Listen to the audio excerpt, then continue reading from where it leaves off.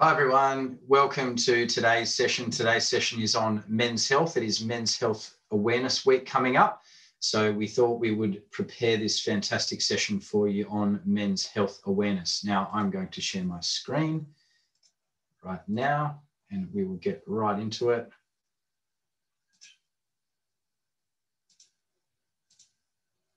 Okay, so men's health awareness. Thank you all for tuning in and listening to this video.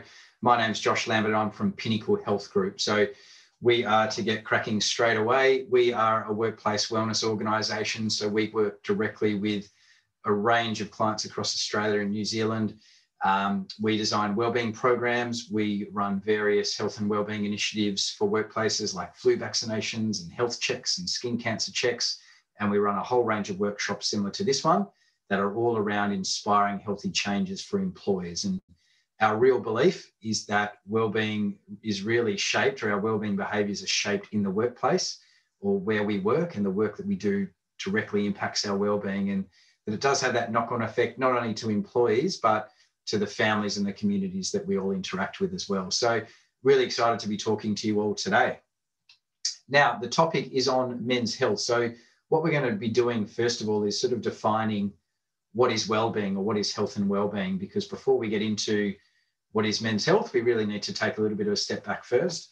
Um, we're also going to cover up on some of the imbalances or some of the difference between men's and women's health in australia um, in particular. So there are obviously various uh, health and well-being risks that that both genders have. There are various uh, checks that we all need to be getting both with ourselves and doing some self checks and also with a doctor and we'll go through that today for you and, and, really outline some of the key things that you need to look at.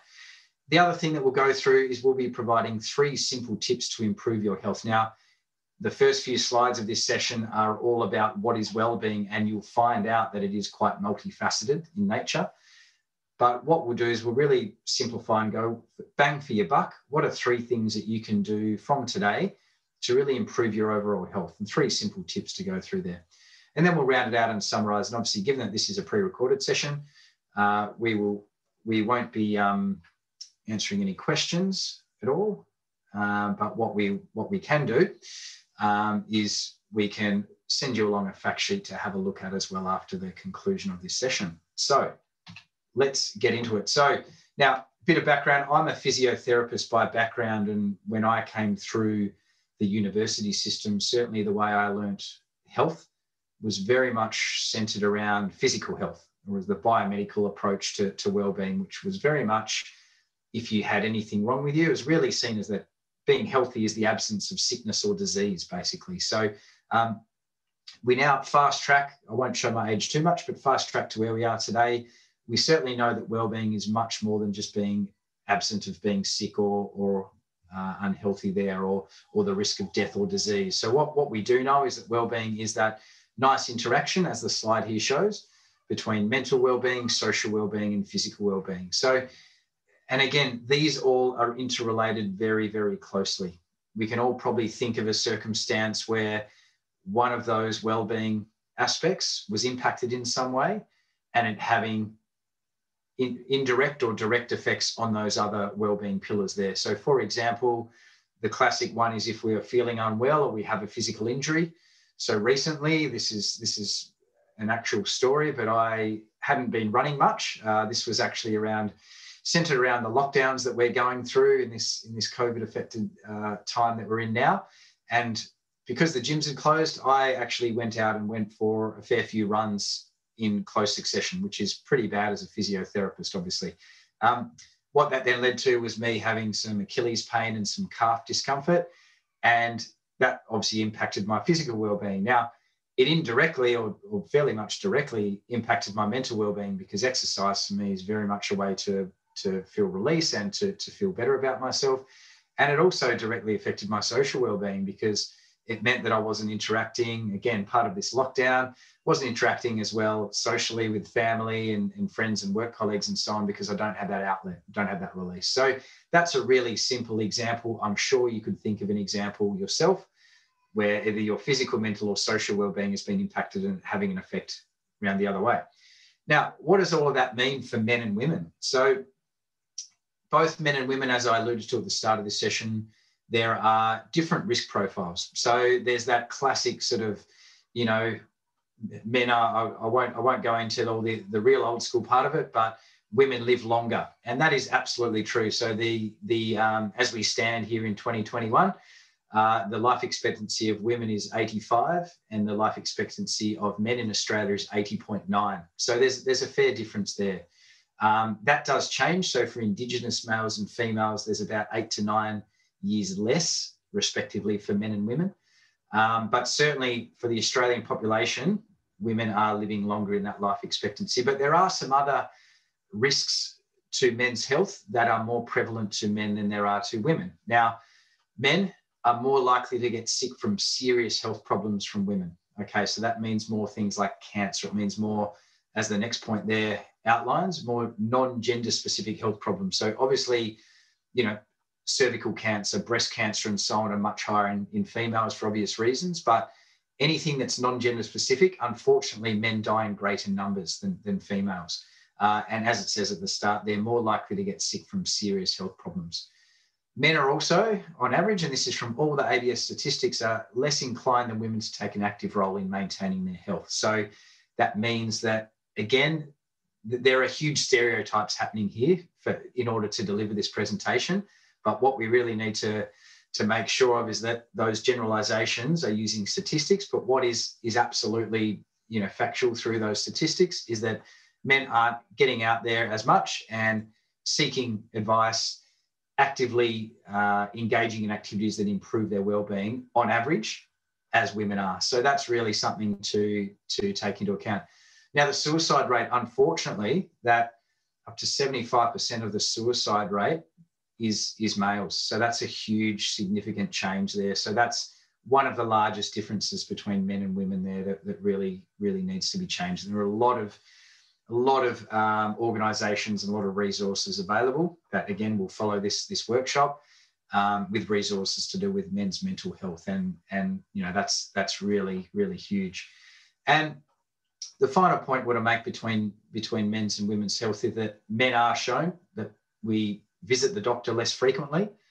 Uh, when we do go to the doctor, it's for shorter visits, and when we do go, it's only really to attend when the illness is at a point where it's either in its late stage or it's it's really having an effect on lifestyle. So again, it's not painting a fantastic picture, but it's really pointing out on average, again, without stereotyping too much, it's pointing out that on average, these are the main differences between men's and women's health. Now, if you flip that and you look at women's health as opposed to men's health, women are more likely to suffer from an anxiety disorder across their lifetime. Um, there are a lot of other risks associated with being a female than there are male, higher rates of domestic violence or being affected with those type of behaviours. So, but what we're dealing with right now is men's health, and certainly there are some areas there that um, perhaps we could all all have a think about. Of you know, we may know men that have been affected, or we might be directly affected ourselves. So, one of the first things I want to talk to you about today in men's health and part of the awareness is actually doing something about it. We want to make this session really practical and have some some really sort of simple take home messages and take home actions that we can all take today. So one of the first things is really the best place to start is well, what do we need to check? What what is we spoke earlier on what is well-being and what is health, but how do we check up on that? And, and you know, if we're not, as it said in the previous slide, if we're not going to see a doctor as much or we're not men in general um, playing such an active role in our own health and well-being, what we need to really make sure of that we know what we're looking for and we know what to check because the last thing we want is something to to pop up and we haven't been able to identify that or we haven't been for our regular checkup with the doctor. So first thing I would say is that obviously self-checks are great, but they don't replace going to the doctor. So men in general, we do need to get over that again, generalizing, but we do need to get over that fear of it's being a sign of weakness or it's being stoic or you just put up with it and we certainly need to get to a doctor and get regular checkups. But there are some things that we all need to self check. So, looking at it yourself and monitoring it for any changes. So, we've summarized this into four categories here, and the four areas are testicles, skin, teeth, and diet and exercise, or more that lifestyle factor. So, the first one is that checking your testicles. Now, basically, from puberty onwards, it is really important that we're constantly checking, not constantly, but very frequently checking our testicles for any thickenings in the tissue, any lumps that we detect in our, in our testes. Uh, basically, that is because we want to make sure that there's no cysts developing, there's no test, uh, no cancer or any anything along those lines that may prompt us going to the doctor. So what we need to do if we find any lumps, any thickenings, that we report straight to the doctor and and get that assessed properly. So that's something that that you can be doing regularly. The other, the other one is your skin, and, and this this of course is not gender specific, but it is something that men we all need to have a look at. Now, two out of three Australians and New Zealanders, unfortunately, will be diagnosed by diagnosed with skin cancer. Sorry, by the age of 70. So I'll say that again. In Australia and New Zealand, unfortunately, two out of three of us will be diagnosed with skin cancer by the age of 70. So that is huge. Checking our skin and checking any spots in our skin for discoloration, changing in size, if it's changing texture, if it's if it's developed a lump, and so on. They're the sorts of things that we want to check regularly. And again, if we're noticing anything abnormal, we want to be going straight to the doctor. Now, one thing that we do at Pinnacle Health Group, we do a lot of workplace skin cancer checks. Um, so it is something that we really recommend the average person in Australia and New Zealand to be having a skin cancer check at least annually. Um, and that takes 15 minutes. It's a head to toe skin cancer check, and it's really it's a, a dermatoscopist, which is basically a nurse with a skin cancer qualification, looking at every spot on your body and making sure that it hasn't, you know, it's something that doesn't need to be taken out or it's not suspicious. And if it is, it's a referral to the GP to have a look at and, and potentially remove that. So that's one to be really careful careful of given the high skin cancer rates in Australia and New Zealand. Now, teeth. Now, it is shown. So if we have poor dental health, that has huge effects on our cardiovascular health, on our overall well-being. So checking your teeth all the time for gum disease, for any cavities, for any anything you'll notice with your teeth, and making sure we're keeping up our dental hygiene regularly. So brushing our teeth at least twice a day, flossing, all the stuff that the dentist, I know it sounds like it's being a um, being a school teacher here, but all of those things have huge implications on our overall health and well-being. So regularly checking our teeth, having a bit of a look, and if, if you are feeling some discomfort, not putting your head in the sand and thinking, oh, it might go away at some point in time. It's if it does feel like it's something there, getting in to see the dentist and getting that checked. And the final thing, diet and exercise, they're, they're very closely linked but making sure we're maintaining, we actually have, when we get to the tip section of today's session, we actually have a bit of information around um, some simple hacks that you can look at to improve your own diet and looking at the amount of fruit and vegetables that we really need and the amount of water that we should be consuming on, on the daily. So we'll talk about that in a moment. The same thing with exercise. So really, we all need to exercise.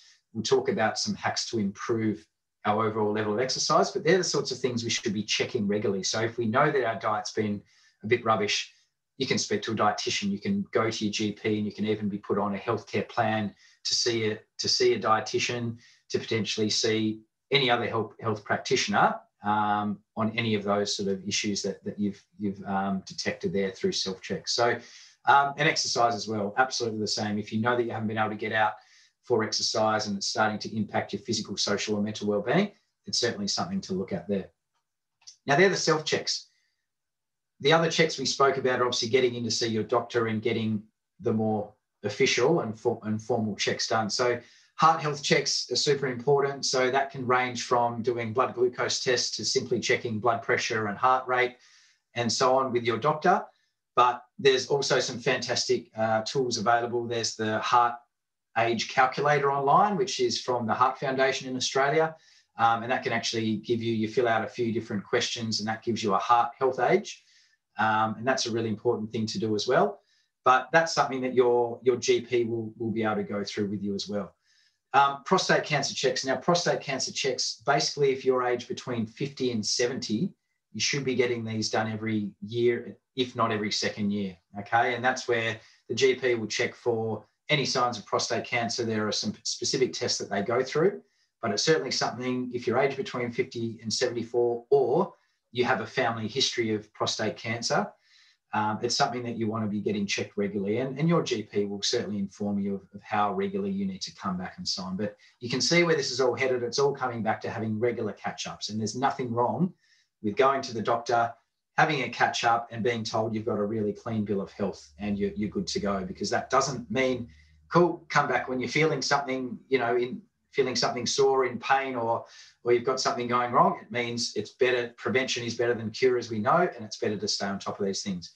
And finally, bowel cancer. So absolutely the same as above. If you've got a family history, or if you're aged between 50 and 74, at least every second year you need to be checking with your GP about that. So um, obviously that that goes through using a stool sample. Now there are um, stool sample kits, so self kits that can be sent out. So I think once you turn 50 in Australia, they do send you out um, a kit in the mail, and you basically take your own sample and you send that off to a pathology lab um, and can go through it that way. So it's really convenient and it's something just to stay on top of as well. So they're your regular health checks as a male.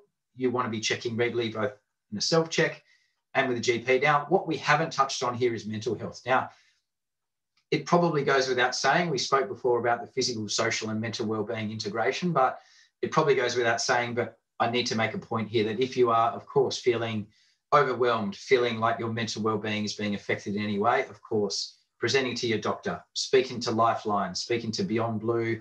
There's the Movember Foundation. There's some fantastic resources available for any men or women that are going through some mental health concerns. So please reach out if that is the case as well. And that's something that, even though it's not mentioned here, checking in with your own mental health regularly and checking in with mates as well and, and making sure that uh, everything's going all right in that sense. Okay, now that that has gone through sort of the things that we need to look at. Now, before we treat, we, we need to assess. I'm putting my physio hat on here, but before we provide suggestions and uh, give advice on our own health and well-being, we first need to stop and check and see where we're at. And that that first part of the session there has been on self-checks and checks with a doctor. So if you take nothing else home from today, it is that there are things that you need to check regularly with yourself and also with a doctor.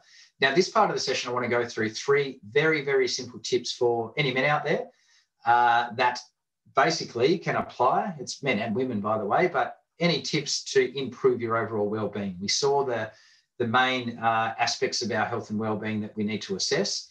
These are three take-homes that you can apply as of today and start to apply them to your life to improve your overall health and well-being. So the first one we're going to talk about is nutrition or fuel. And as the cheesy uh, meme says here, me after eating one piece of broccoli. I'm sure we've all done this before, where we we say, "Great, I'm gonna I'm gonna be really good here. I'm gonna do clean eating hashtag clean eating, or I'm gonna really start to focus on my own health and well-being by eating well."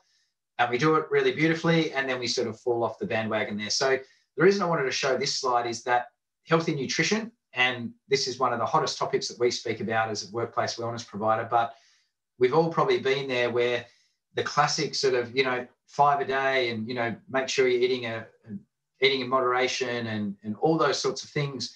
Sometimes we can i shouldn't say but we can get a little bit bored of those sorts of things and we shouldn't be because that is uh, basically the only approved advice from the Diet, dietitians association of australia and the racgp but basically that's the only advice that rings true for all of us is that we need to make sure we're eating healthy whole grains make sure we're eating a healthy amount of fruit and vegetables in our diet and we're drinking plenty of water. So it sounds simple.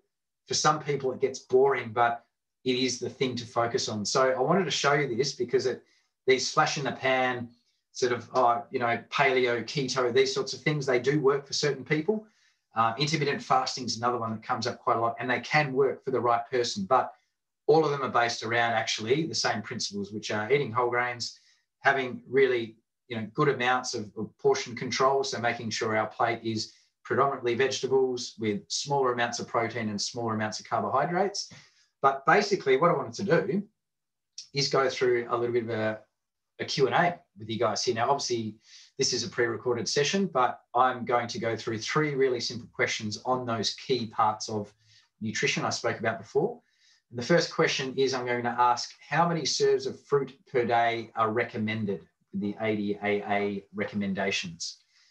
And I'll give you a little bit of time to think about that, but the correct answer is C2. So two serves of fruit per day is the correct answer. Um, certainly, I know, you know, through some confusion and so on, we, we do get a lot of people thinking that they should be eating more serves of fruit per day. It's not terrible if you do eat more than two serves of fruit per day, depending on a lot of other aspects of your own diet, but two serves of fruit per day are recommended. So that is one serve of fruit, just to note, is either one large piece of fruit, like an apple or a pear or someone, or a cupful of smaller uh, fruit. So whether that's berries, um, you know, other grapes, etc. That's question one. Question two, how many serves of vegetables per day? A5, B4, or C2? Now, the correct answer to that is A5. Now, this one for me, I'm not sure about yourself, but five serves of vegetables at times of various periods in my life, I've found this quite difficult to get five serves of vegetables in. And again, that is a cup full of either uncooked or cooked vegetables per day. Now, some hacks to improve your intake, particularly of vegetables um, or fruit for that matter, is to really prepare snacks. So you can see the hack that I've mentioned down there is snack preparation. So things like preparing carrot sticks, um, whether you're taking those into work or you've got them handy at home. Um, it might be things like cutting up cucumber and having that that's really handy, or having avocado that's really easy just to spread onto some rice crackers and so on. But snack preparation is the best way to get this in because what invariably happens if we're busy, sometimes the last thing we reach to is something that takes time to prepare, and that can often be vegetables and fruit. So if we prepare them firstly, we're much more likely to go and grab it and it's straight in and we're not thinking straight to the fast food or the unhealthy alternative. So that's that's a bit of a hack there. And the third question is how much water per day should we be consuming? And the correct answer to that is B, one litre per 22 kilograms of body weight. So let's keep this really simple and say if, that, if the person was 88 kilograms in weight, they would need to be drinking four litres of water per day to be meeting the recommended uh, intake guidelines. So you can see that's quite a lot. Okay, so you know you're talking what's that for? That's really 16 cups of water per day if you weigh 88 kilograms. So um, look, some hacks to increase your water intake is obviously to have a drink bottle handy nearby wherever you're working or wherever you might be preparing food or doing anything like that for a sustained period of time. Um, but we really need to be, if there's one thing you can take out of anything today that improves so much of our well-being, it is that drinking more water improves, obviously it improves our hydration. That's a fairly obvious thing to say. It improves our weight loss. It improves our mental state. It's been shown to improve our sleep. It's been shown to improve so many parts of our health and well-being. So there's nothing else you can take home. It would be drinking more water there. And one litre per 22 kilograms body weight gives you a nice ballpark amount. Second tip, and it's also a hot topic with everyone that we speak to, is sleep health and improving our sleep. Now, there are those people that, um, you know, I'm sure we all know them that sort of say, oh, I don't, you know, I'm one of those people that don't need seven hours per night sleep. I'm fine on four hours sleep and I can function okay. That is a myth. So those people, even though they might be able to do that, it's still having an impact, probably an indirect impact on a lot of aspects of their well-being as well. So it can affect. So again, we spoke about poor hydration, poor sleep health increases weight gain. It decreases mental well-being. It can increase anxiety. It um, it also can affect social relationships and all those other parts of well-being that we spoke about before. But it has been proven that really minimum seven hours per night are the recommended guidelines for us. Now, having said that, there will be nights where you don't get anywhere near seven hours, and that is okay. But that's that's our target, and it doesn't mean if you don't achieve them that suddenly your health and well-being is just gone. You know, you've lost it. But it does mean that that is what you should be aiming for, and we should be basing our target sleep amount around that. So if you know you're going to bed, you know, simplest thing to do is if you know you're going, you, you go to bedtime is around about midnight. Okay, that's quite late. You've really got to be sleeping past 7 a.m. in the morning to, to really get that amount of sleep. So if you know you're not going to be able to get in past 7 a.m., you've got children, you've got a dog that might wake you up, or you like to get up early and exercise, you know that you've got to be going to bed early. So it's a very obvious thing to say, but it, it is worth saying. The other things you need to consider with your sleep health are things like the time that you eat and the amount of caffeine that you consume, and also using electronic devices and the lighting. So, first of all, with dinner, it's been strongly recommended that we have our main meal. If dinner's the main meal, that we have that at least two hours before bedtime. Okay, if we eat a large meal and it's too close to the time that we go to sleep, it's taking away from our rest uh, processes and our um, there's a hormone called melatonin in our body that actually increases our sleepiness. So if we've got this big meal that our body's digesting, it's not focusing on increasing our melatonin, and therefore it's not improving our getting off to sleep ability effectively. So the other thing to add to that is caffeine. So caffeine is a stimulant. Okay, caffeine has a six-hour half-life. So what that means is that it takes six hours for. Oh, sorry, in six hours, half of the caffeine that you've consumed is still in your body. Six hours after you've consumed it, and then another six hours after that. So 12 hours after you've drunk that coffee, that or or taken whatever it is that the caffeine has come through, there's still a quarter of the amount of caffeine in there. So you need to consider that in the timing of your caffeine in, intake and the quantity that you're taking. So it means that if you're having coffee later in the day, it, there's a very fair chance that you're going to have some amount of caffeine in your system. Now, there are some people they can have an espresso after dinner and they're absolutely fine. Um, there are some people that if they did that, they'd be up all night and they'd be hating life. So you know yourself quite well, but caffeine intake will certainly impact that. And the last thing that I want to speak about and also link that a bit to lighting are electronic devices. Now, light, the type of light, whether it's a warm light like an orangey or a red light versus basically an intense light, a blue light, a white light, that's more in, on the intense spectrum. The more intense lighting actually uh, inhibits the formation of melatonin, that sleep hormone that I spoke about before. So warmer lights improve that. So if we think about the sleep wake cycle in our normal daily life, basically the sun comes up, therefore it gets lighter. That stimulates us to effectively start to wake up and we're not as sleepy. As it get as the day progresses and it gets darker, we do become sleepier. That's just the natural sleep wake cycle. So less light equals increased melatonin equals equals increased increased sorry ability to get to sleep. Now the electronic devices that we use, this is a massive massive thing at the moment. That iPhones, uh, you know, smartphones, tablets, laptops, etc. The light that they emit is the blue light I spoke about before. So that is actually a melatonin inhibitor. Therefore, reduces the sleep hormone, reduces our sleepiness, makes it harder for us to get to sleep. So, you know, if we're all like the image here, like Michael Jordan, we're looking at our phone and we're reading something or we're, you know, doom scrolling through Instagram when we're in bed, effectively what that can do is that can actually inhibit the melatonin um, creation and therefore decrease our chance of getting off to sleep nicely. So ideally, we wouldn't be having our electronic devices in bed at all. And one of the simplest hacks for that is actually getting a, an external alarm clock, like an old school alarm clock, and pop it in your bedroom and leaving your phone out of the bedroom. That isn't often practical for many people. So one thing you can do, there's a bit of a hack, is that your phones have effectively a mood lighting or they have a um, it's a sleep mode basically. And what it does is it has more of an amber overlay, and therefore you can still be looking at your phone. It's a warmer light and it's less of a inhibitor of melatonin, and therefore it allows you to get to sleep a little bit easier. The other thing you can do is you can actually gradually reduce the lighting in your living room or in the rooms that you're in before you go to bed. So, you know, two hours, three hours before bedtime, you can start to dim the lights or start to turn some lights off in other areas. So it's not from stark bright light to darkness and then you're staring at the ceiling. Okay.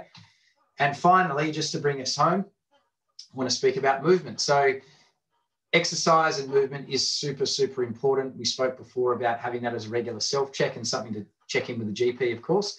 We should be looking at 60 minutes of exercise per day, and that's including exercise that we're purposefully doing and also incidental exercise. That might be walking to pick pick up your children from school or, or the commute or riding to work or walking to the bus stop, whatever it might be. Um, but we know that movement and exercise has direct links to our mental well-being and our social well-being. So it's super, super important to keep our bones strong, to keep our muscles active, uh, to improve our posture, but it's also critically important, not just for those physical elements, but to improve our mental and social well-being as well. And a bit of a hack there is to increase our incidental exercise. A lot of us have been, you know, with all the different COVID changes, have been working from home uh, at various times, and incidental exercise is something that has dropped away significantly. So, for any of you guys out there that are thinking, all right, I, I want to exercise more, I just don't, you know, I've got kids I'm juggling, I've all these commitments. Incorporating exercise into either your work day or getting to work or getting to where it is that you need to go is a really nice way to to um, to factor that in. So you know, think really simple things like taking the stairs instead of the lift, uh, walking to the shops instead of driving two minutes in the car. Stuff like that is really really important. So that effectively concludes the session for today on men's health awareness. what I really want to make sure of is that if anyone is experiencing any um, concerns with their overall health and well-being, that you get in to see your GP, or as I mentioned before, there are various resources available through Movember Foundation, Beyond Blue, and Lifeline if you're experiencing any mental health concerns. But wish you all a really, really happy and healthy Men's Health Week. If you'd like to get in touch um, about anything at all, you're welcome to contact us at pinnaclehealthgroup.com.au. Thank you so much for listening.